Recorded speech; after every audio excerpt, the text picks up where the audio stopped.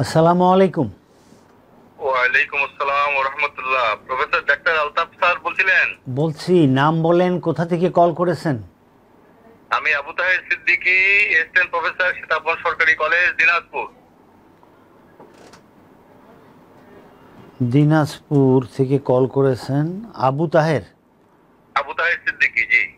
Professor Abu Taher. Okay বয়স কত আপনার? 62 ওকে 62 বলেন কি কষ্ট আপনার? আমার এই পিএলআইডি 458 এর প্রবলেম আপনার কষ্ট বলেন পিএলআইডি হলো এমআরআই এর কষ্ট আপনার কষ্ট বলেন। আচ্ছা আমার কষ্ট হচ্ছে এখন ওই আমি আপনি এই সমস্যার জন্য ঢাকার ল্যাবেইডে প্রফেসর মনসুর হাবিব সাহেব। একটু ধরেন একটু সুন্দর করে শুনবেন professor. With professor professor doctor Mansur Habib সাহেব। আপনি আমার কথা শোনেন প্রফেসর আবু তাহের দিনাজপুরের সীতাবগঞ্জ থেকে কল করেছেন। আপনাকে আমি জিজ্ঞেস করছি আপনার কষ্ট কি? আপনি মনসুর আচ্ছা, প্রফেসরকে আচ্ছা। দেখাইছেন। এই উত্তর আচ্ছা, দিলে আচ্ছা, আমরা। কি বলব বলেন এখানে? আপনি কোন ডাক্তার দেখাইছেন? ডাক্তারের নাম দরকার নেই কোনো ডাক্তার দরকার। নেই। আপনি আমার সমস্যা এখন কষ্ট কি? ব্যথা? জি আমার কষ্ট হচ্ছে ডান পায়ে ব্যথা ছিল ব্যথাটা কমছে।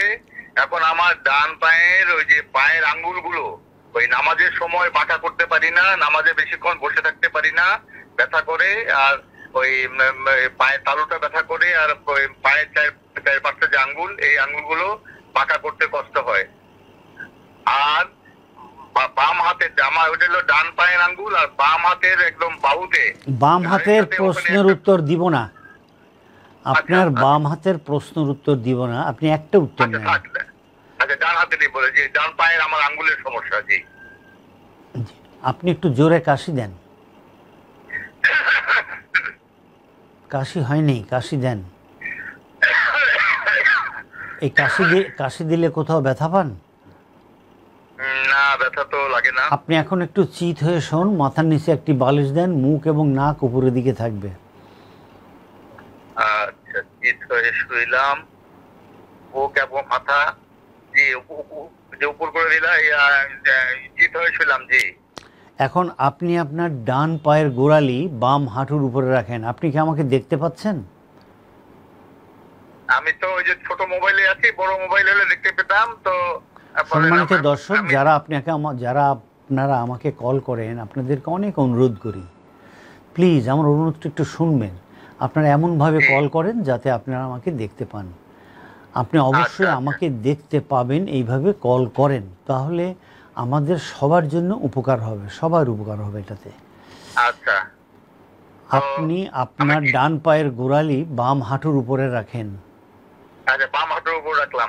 এই যে আচ্ছা রাখার পরে আপনি এখন বাম হাঁটু বুকের দিকে টানেন। বাম বাম- ডান হাঁটু। ডান পায়ের গোড়ালি বাম হাঁটুর উপরে রাখেন।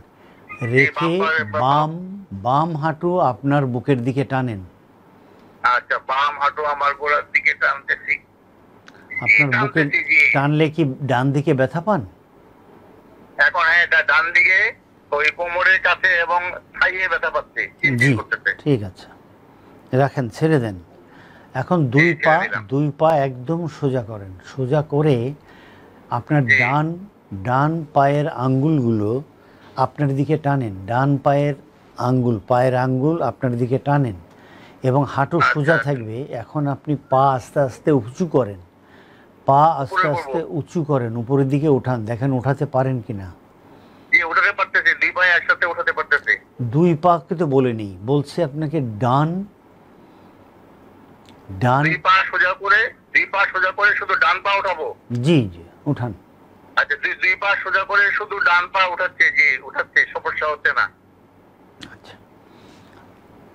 আপনি প্রতিদিন দুটো সময়ে সকালে এবং বিকালে বা রাতে কমপক্ষে উপর হয়ে শুয়ে থাকবেন অনেকক্ষণ। এই সময়ের মধ্যে হ্যাঁ? এই সময়ের আচ্ছা। মধ্যে আপনি আগেই নারকেলের তেল রসুন গরম করে রাখবেন। রেখে রসুন যখন নারকেলের তেল এক পোয়া এবং রসুন বিশ কোয়া। এর মধ্যে দিয়ে এটাকে গরম করবেন। যখন রসুনগুলো লাল লাল হয় তখন এটা একটা বাটির মধ্যে ঢেলে রাখবেন। ওকে? আচ্ছা। এরপরে আপনি প্রতিদিন উপর হয়ে শোয়ার পরে কাউকে বলবেন ওই নারকেলের তেল ওখান থেকে নিয়ে এই রসুন নারকেলের তেল হালকা হালকা আপনার কোমরের মধ্যে ডলবে। হালকা হালকা হালকা হ্যাঁ কোমরের মধ্যে ডলবে। এগুলোর ভিডিও আমরা দিয়ে দিচ্ছি। আপনি আপনার মোবাইলটা ওইরকম হলে আপনি এখনই লাইভ প্রোগ্রাম হলে আপনি এখনই ভিডিও দেখতে পারতেন। কীভাবে আচ্ছা। এই চিকিৎসা করবেন এর ভিডিও দিয়ে দিচ্ছি। এইটা আচ্ছা। দশ মিনিট করার পরে আপনি এখানে গরম ভাব দেবেন। গরম হ্যাঁ, ভাব দেবেন কীভাবে? একটি গরম পানির মধ্যে একটি টাওয়ালকে ভিজায় রাখবেন এটাকে চিপে উঠিয়ে ভাঁজ করে ওই তেলের মধ্যে আপনি তেলের মধ্যে তেলের উপরে এটা বসায় রাখবেন কতক্ষণ? দশ মিনিট। দশ মিনিট আপনি বসায় রাখবেন এরপরে আপনি এটা সরায় ফেলবেন। সরায় ফেলে দুই হাত মাজার উপর রেখে মাথা এবং কাঁধ উপরের দিকে উঠান। উঠিয়ে আপনি hold it for ten seconds ten seconds কীভাবে হবে? দশবার মনে মনে সোভান আল্লাহ অবিহামদিহি পড়বেন। এভাবে দশবার বা পড়লে আপনার সময় হবে, অথবা এক হাজার এক এক হাজার দুই, এক হাজার তিন এটাও গুনতে পারেন। বাট সুবহান আল্লাহ বিহামদিহি আমি খুব প্রেফার করি। এরপরে আপনি এরপরে আপনি ডান পা হাঁটু সোজা রেখে আপনি উঁচু করবেন। আচ্ছা। এরকম দশ বার রাখবেন আবার বাম পা করবেন। এটাও দশ বার করবেন ঠিক আছে? আচ্ছা। এরপরে আপনি যে কাজটি করবেন চিকিৎসাটা করবেন আপনি এখন চিত হয়ে শুবেন। চিত হয়ে আচ্ছা শুয়ে ঔষধ ও- ঔষধ যে খাচ্ছি এগুলো কি কন্টিনিউ করব না ঔষধ খাব না আমার কথা তো শেষ হয়নি। আচ্ছা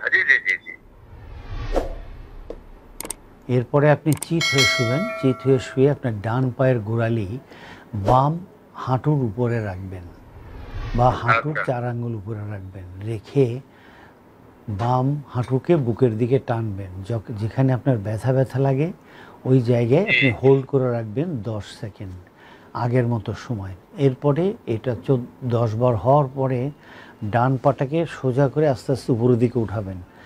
কাউকে বলবেন আপনি হাত দিয়ে ধরতে এই ভিডিওগুলো আমরা দিয়ে দিচ্ছি। আপনি ভিডিও দেখেই চিকিৎসাগুলো করবেন এক্সারসাইজ করবেন। মনে রাখবেন exercise exercise exercise exercise is medicine for today and tomorrow আপনার জন্য আচ্ছা। এক্সারসাইজই হচ্ছে বেস্ট মেডিকেশন সুতরাং এটা কন্টিনিউ করেন এবং অবশ্যই আপনি দুই সপ্তাহ পর আমাদেরকে জানাবেন আপনি কেমন আছেন? সালামু আলাইকুম।